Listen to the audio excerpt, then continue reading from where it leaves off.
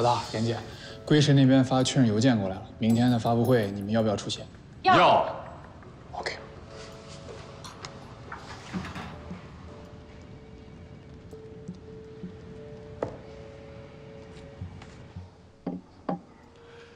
先喝杯咖啡吧，千朵马上就回来。你还约了千朵一起啊？是啊，我觉得咱们仨人早该坐在一块儿吃顿饭了吧？也是。我们之间的关系，我跟千朵聊过了。我相信他是个聪明孩子，应该可以处理的很好。我们已经不是以前的关系了吧？我们现在的关系更简单了，公司里面是上下级，公司外面是老朋友。哎，你别喝咖啡了，这咖啡因啊对你的身体最不好了，我也不喝了。苏珊，我们现在不只是病人和陪护的关系吧？哦，对了，千朵啊，现在谈了男朋友，正美着呢，所以我这事儿今天千万不要跟她说啊。昨天我跟何医生通了一个多小时的岳阳电话，他的电话现在我根本都不接，听之无益。他跟我说你取消了后面所有的治疗计划，他担心是因为经济的关系。你看看，这说明我的选择对了吧？一个满脑子都是钱的医生，这这太不靠谱了吧？秦哥，我才知道，你离婚是净身出户。我的离婚律师跟他搞到一块儿去了，你说我还能占什么便宜？如果你需要帮助，你可以告诉我，我这里有钱，至少把后面的治疗完成了呀。治疗完成以后呢？我死了谁还你钱？呸呸呸！不许胡说。咱们两个之间还这么见外吗？这不是钱的事儿。你知道为什么我把私人医生甩了吗？因为我知道你根本不可能陪我到国外去治疗，你离不开上海欧讯，对吧？所以我现在在这儿找了一个非常好的大夫，而且这个全世界癌症的保守治疗啊，都是一样的。哎，不说了，千朵马上就回来了，我去看看菜啊。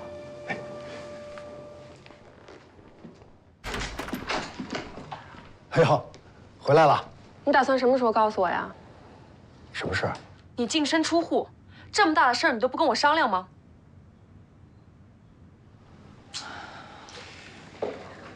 千朵，你应该理解你爸爸，你爸爸不想伤害你，他不想让你担心。苏总，哦，本来今天我想咱们三个人吃顿饭，好好聊聊天儿，没想到好像不是个好日子啊。也好，本来我想给你们每个人一个解释，今天就说给你们一块儿听吧。我和谢美兰这些年从来没有感情，只是因为事业和女儿，才分居了这么多年没有离婚。但是半年前，我厌倦了这种生活，我想在有生之年找到真正的爱情。为什么是半年前？呃，因为那个时候你即将离开学校，将会有自己的爱情和事业，我觉得该是时候放手了，去追求我真正的幸福。有些话，确实你们父女两个人单独讲比较好。千朵，有什么事情，好好跟你父亲聊聊。我公司还有个视频会议，我先走了。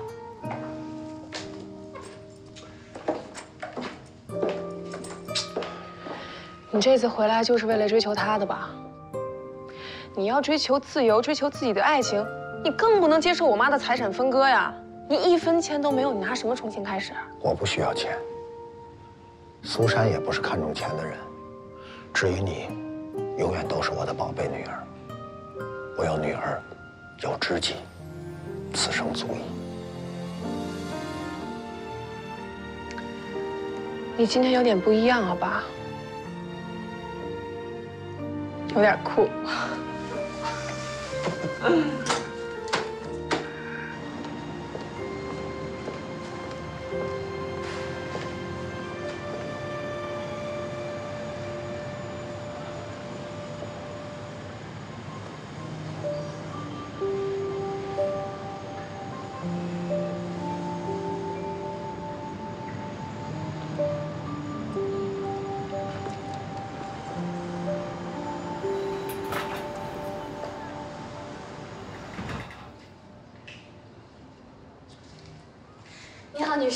请问有什么需要帮助的吗？啊，我想看一下你们橱窗里的那枚钻戒。啊，这个啊，这是我们的永恒系列，它是我们店最高端的系列。女士啊，你很幸运啊，这枚戒指之前被预定过的，后来客户退订，我们店长才从别的店调过来。它是被退订的。啊，是。虽然这高端珠宝的价格比较昂贵吧，但是付款完再退订的事儿也时有发生。我看您挺喜欢的呀，我帮你试戴一下吧。来，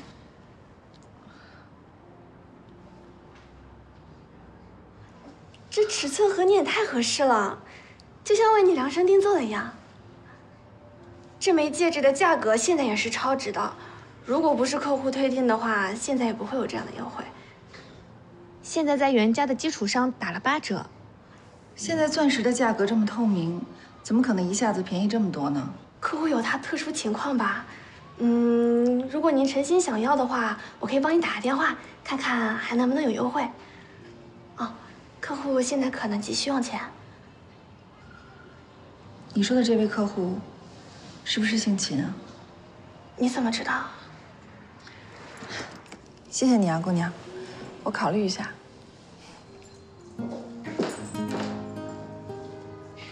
钱多，吃点菜。嗯，跟我说说你那个林俊文。他挺好的，没什么好说的。任何一个恋爱中的女孩啊，都觉得自己男朋友是最好的。可是作为一个旁观者来说，我担心他在利用你。您怎么能是旁观者呢？再说了，他也没利用我呀。如果西郊项目失败，林氏家族就会破产。况且，林俊文从来没有公开过继承人的身份，一直在公司打工，说明他在林家并不受待见。爸，您就这么看重门第啊？如果林家破产了，作为林俊文的老婆，你要跟他一起分担债务。如果是您当年说这些话，我非常能理解。但您现在都跟我妈离婚了。我觉得这些您应该看开了，还有什么是比两个人的真心更可靠的吗？钱多，说到真心，那我就更担心了。当年我入赘谢家，就是为了出人头地，不被家里人和外人看不起。整整二十四年，我看了太多的脸色，受了太多的打压，所以我更能够理解一个人对金钱和地位的渴望。以林俊文目前在林家的处境，和林氏在商场的处境，更让我担心这个人的价值观和心态。一个人的本质是不会因为环境而改变的，这你应该最了解呀。您看，我妈也好，我外公也好，还有乔斯、杰森他们，没有人能剥夺您的尊严和正义。好吧。林俊文还是夏冬挚友呢，您不是也说吗？看一个人的为人，就要看他身边的朋友。连夏冬都很信赖的人，应该能用您的法眼了吧？夏冬的品质，我当然不怀疑。但是他最大的软肋就是感情。这样吧，您要是再有什么问题啊，下次我把安文叫过来，您亲自当面问他，好吗？好吧，希望我这些担心都是多余的。来，咱爷俩碰一下。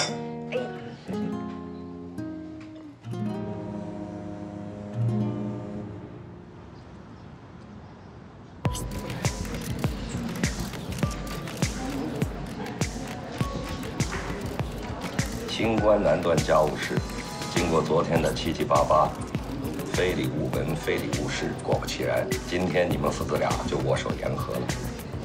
这是柳暗花明又一村。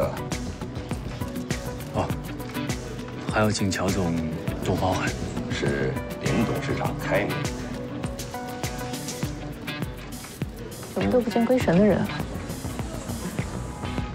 归神是林氏的技术支持。有林市的高层全权代表，也算合理。现在高科技公司的企业文化不都是很高调的吗？满眼只看到产品的广告，不见企业的广告，这广告套路挺有意思的。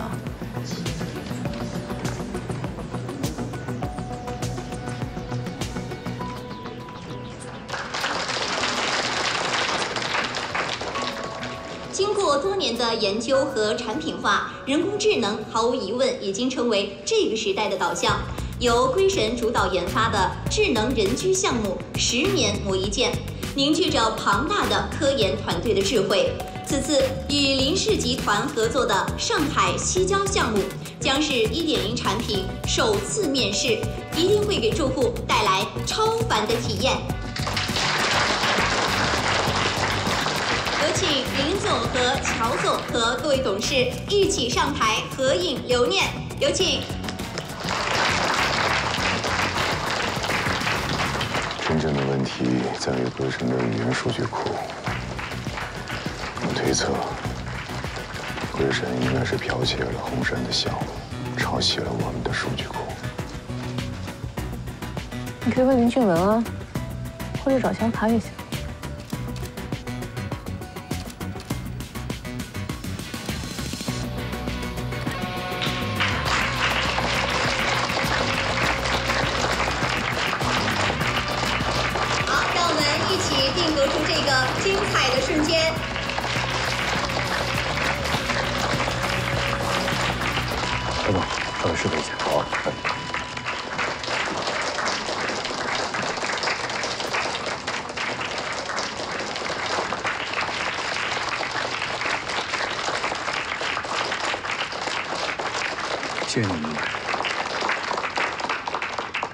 宣传广告做得好，Live with soul，这 slogan 挺有吸引力啊。能不能借不少啊？对不起。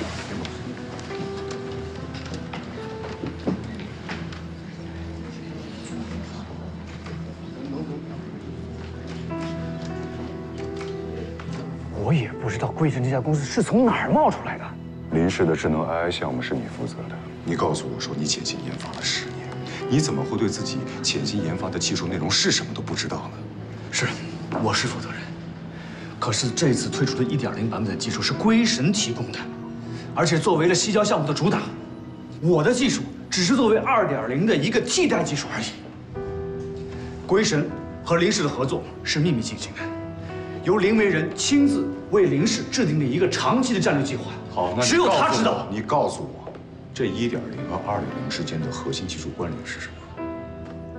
在我接受西郊项目之前，我根本就不知道有归神这家公司存在。那阿尔法呢，阿尔法是什么？归神真正的股东。你这话什么意思？我猜测，你向阿尔法泄露了技术信息，在利用龟神把这些数据占为己有，你所谓的自主研发都是幌子。我这么猜测很符合逻辑。Life with the soul，这不光光是一句 slogan，这是我们的梦想，是我们对 AI 的期望。我怎么可能把我们的梦想歪曲成一句广告词推出来呢？被歪曲的只有事实。龟神剽窃了红杉的技术，我成为了替罪羊。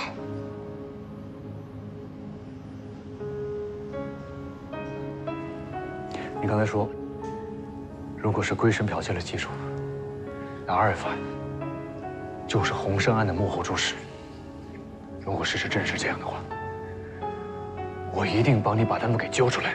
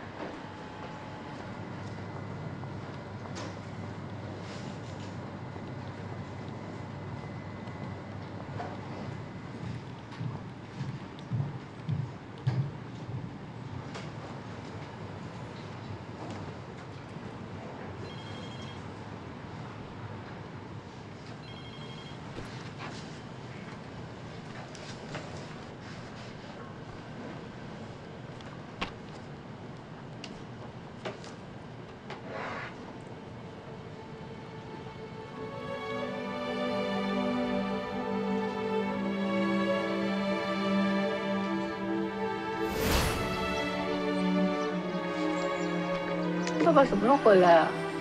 他有个新项目在赶工，很忙的。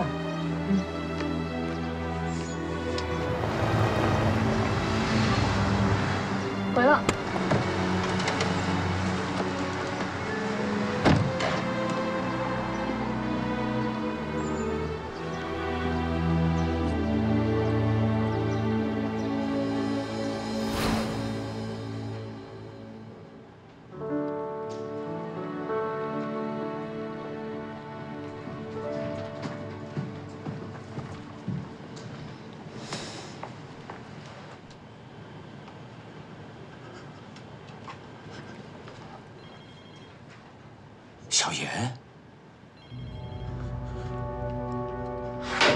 这是归神西郊项目的数据，LJW，你的签名，现在是证据确凿。这些数据哪来的？我现在已经是胳膊肘往外拐了，当然是我从龟神拿的资料。现在你还不信任我？不使用来历不明的数据是欧讯的规矩，也是我的规矩。就知道你会这么说。我现在授权你作为临时的代表，和龟神的技术总监对接西郊项目资料的真实性，你自己去查。这人是中国人，蒋生。对，老大，我之前查了龟神技术团队的资料，只有这个蒋生博士曾在阿尔法任职。他是零九年辞职之后就没有固定职业，直到龟神成立才聘请他做了技术总监。有更详细的资料吗？我能掌握的资料全都交给小卡了，毕竟我现在刚刚接手这个事。对，龟神人员资料的保密性做得非常好。除了林总给的资料，我就找到一张去年他们的大合照。这后面几个是去年才加入团队的新人，这前面几个是外国的。这就是蒋生。你怎么知道？让你识别一下。OK。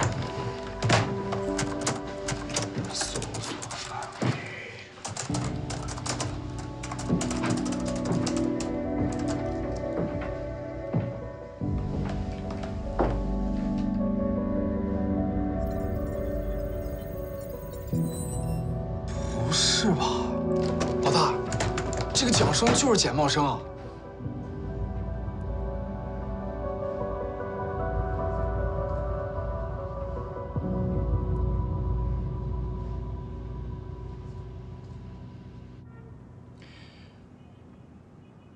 真像做梦一样。这场梦，我做了太多回了。我也觉得我像做梦一样，没有想到你会换一个名字生活，更没有想到你居然会主动提起我妈。小妍，我一直有打听你们的消息。你妈病危的时候，我去东京看过她几次，我还去大学看过你，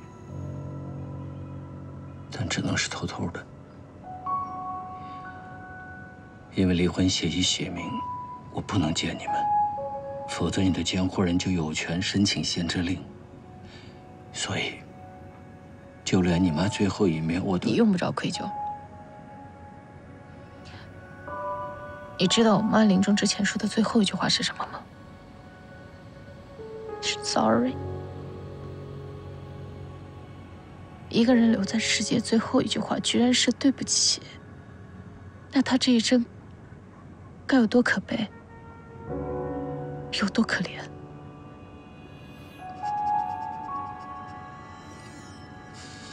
我直到现在都不愿意去想，他到底在跟谁道歉呢？跟他自己，跟我，还是跟别的什么人？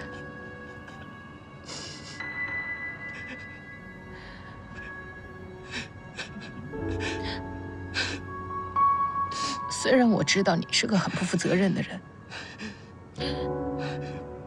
但是令我没有想到的是，你居然，你居然会这么无耻，藏在这儿继续做这些勾当。小妍，你尽管骂我、嫌弃我，都是我咎由自取。我现在问你，阿尔法当年窃取红山数据，幕后指使到底是谁？是阿尔法布下的一个很大的棋局，我只是一颗不起眼的棋子，任凭他们随意摆布，我毫无办法。他们是谁？你为什么要任他们摆布？小妍，我答应过你妈妈，不会一错再错。我没有食言，你给我一点时间。蒋博士，有人找。啊，知道了。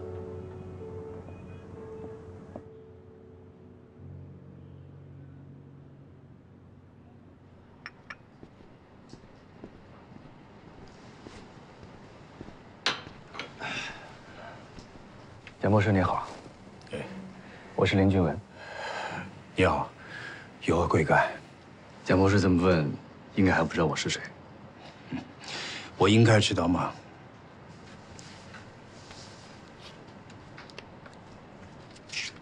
这是我的名片。我现在是林氏的负责人。哦，是我冒昧了。鄙人只是个技术总监。龟神业务上的事情是由市场部和总裁办那边。明白。但是归神的技术是他的生命，而你是给他生命的人。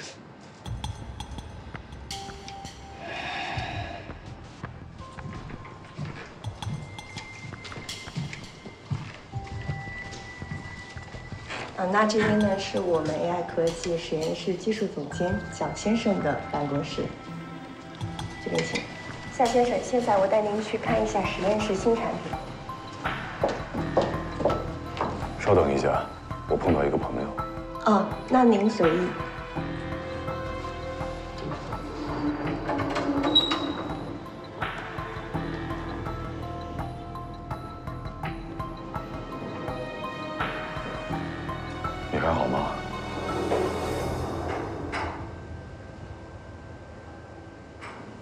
你怎么在这儿？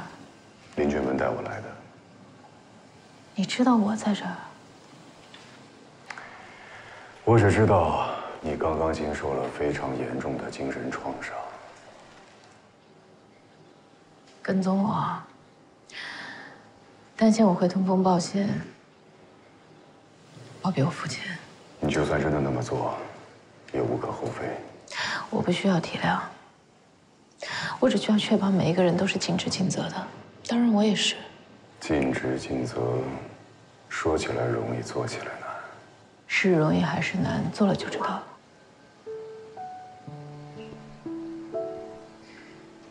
那你做到了吗？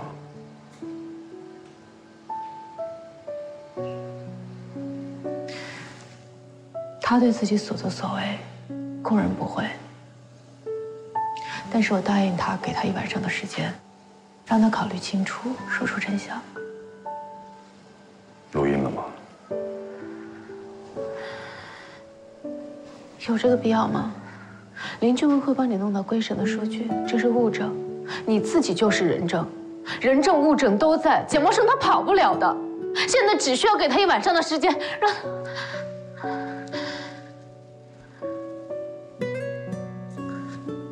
可以喘口气。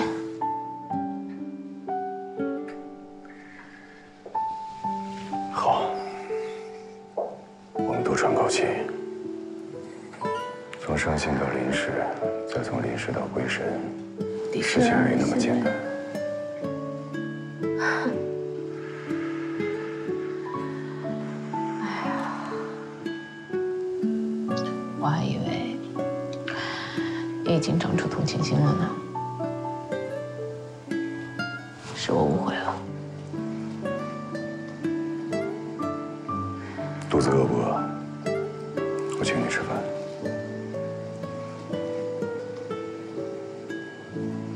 我说你可真行啊！说好的，我帮你引开简报生，给你和简言腾出时间来。这完了事儿以后，你连招呼都不打，人先溜了。你们俩聊得怎么样？直接告诉我，他知道的不多。就没问到什么有效信息吗？那你呢？你从简言那儿又问到了什么？我们俩刚刚坐下吃饭还没聊呢。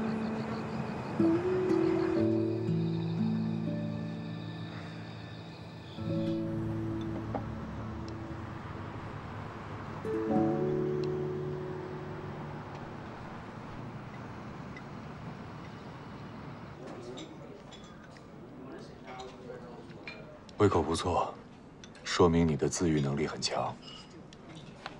开心啊大吃不开心也要大吃。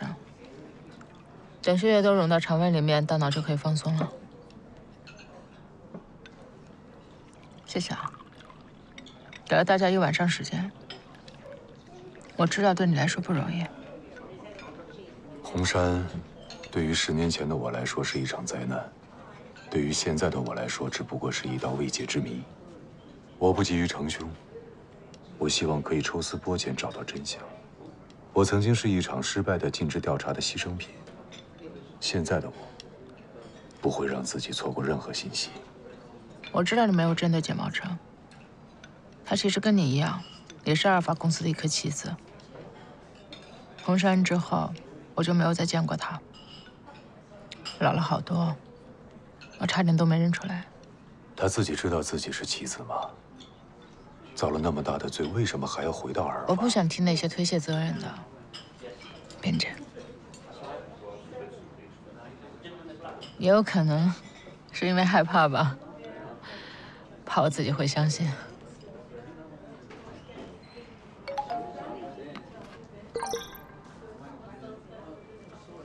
他约我明天吃饭，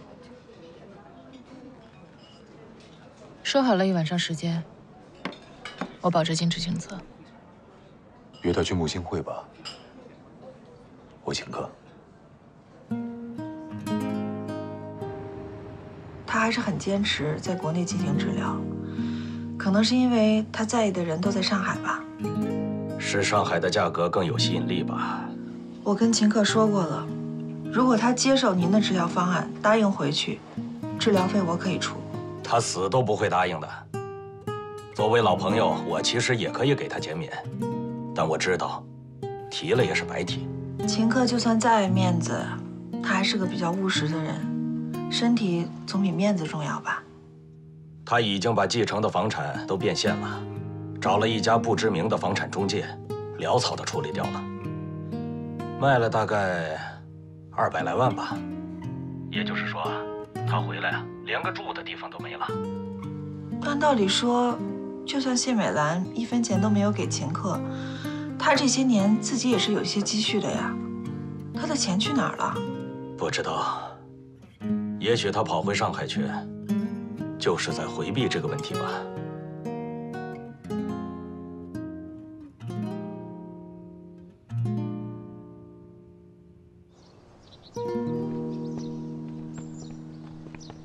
夏冬，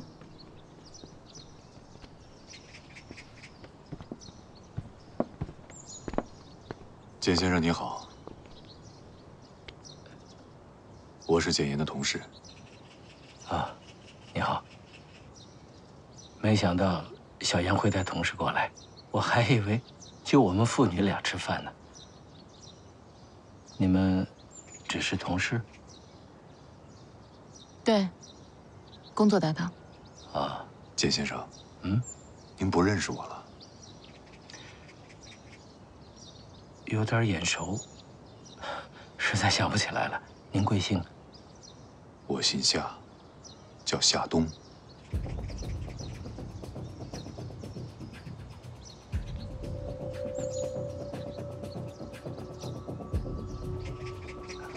啊，抱歉。我们之前没有见过面，但我没想到您连我的名字都不记得了。十年前红山案，您曾向律师指认我，说我在四大实验室盗取了红山的数据，卖给了您。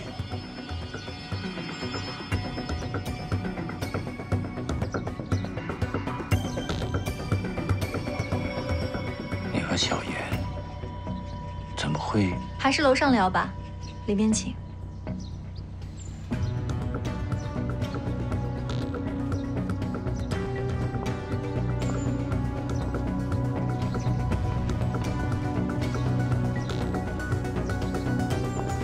群文已经到了，你叫他过来。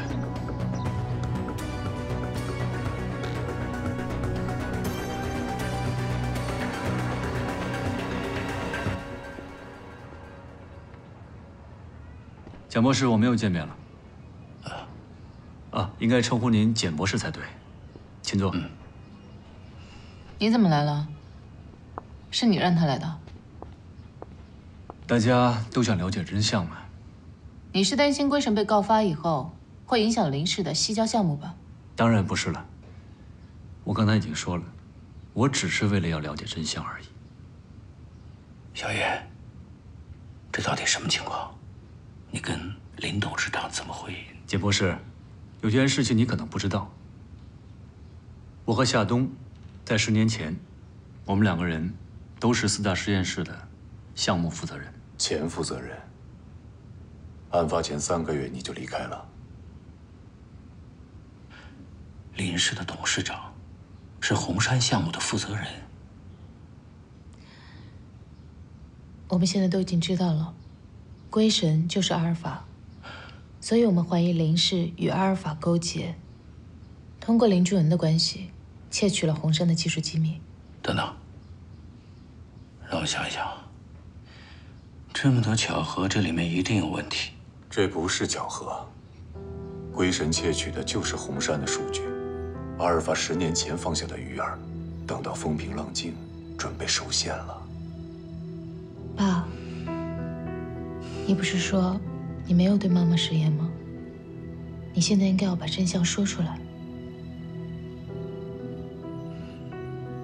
我们希望把十年前您所知道的都能够说出来。如果您还想有什么隐瞒的话，那等真相公布了，所有的责任都得由您一个人担。当年你转做污点证人，回避了所有的庭审环节，事后又提出证人保护计划，消失得无影无踪。今天你无论如何得给我们一个答案。什么证人保护计划？什么回避庭审？我是被限制了人身自由。他们保释我之后，就把我囚禁起来了，就连我跟家人联系也不准。是你畏罪潜逃那段日子，那是阿尔法给我的罪名。我跟你一样，都是他们的替罪羊。只不过，你已经摆脱了那些阴影，而我，一辈子也做不到了。我并没有摆脱红山的阴影，因为我始终弄不明白，阿尔法是怎么摆弄我们这些棋子的。当年你还是个在校的大学生，我就是个普通的人工智能工程师，哪能想到自己会成为一场商战的牺牲品？当年，人工智能技术成为计算机研究的热点方向，不少行业把人工智能技术视为商战的未来核心，阿尔法公司就是其中之一。但是我们起步较晚，又没有足够的人才储备。所以在竞争中处于劣势，直到有一天，一个投资人找到了阿尔法。他透露了一个内幕消息：红杉的智能人居项目，由于资金不足被暂停了。阿尔法主动出资与红杉合作，但是红杉拒绝了阿尔法入股的提议。阿尔法狗急跳墙，以非法手段窃取了红杉的数据。我虽然抗拒剽窃的行为。但是那个时候，简言的妈妈患上了尿毒症，我绝对不能失业。于是，就按他们说的，指认夏冬技术泄密，把罪名都揽在我们俩身上。阿尔法承诺会庭外和解，还会给我一笔钱。所以那个时候，我妈已经确诊了尿毒症，不是你们给我说的慢性肾炎。你还小，我们决定对你隐瞒病情。那个投资人是谁？那时候，阿尔法刚刚进入中国大陆市场，不知道从哪里找到了一个地产开发商。我只知道，他姓林。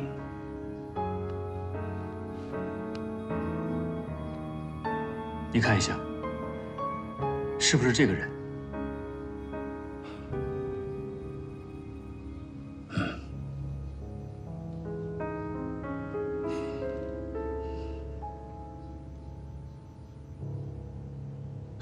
是林维人怂恿的你，是林维人借着阿尔法栽赃给我。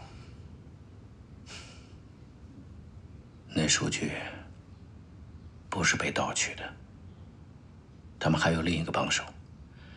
当时欧讯的调查师事先对实验室的内网动了手脚，洪山因此怀疑实验室信息被泄露，便委托欧讯进行经济调查。他们趁机侵入了红山的数据库。我们俩的官司，他们只是想要创造一个能够接触实验数据的机会。为什么指认我？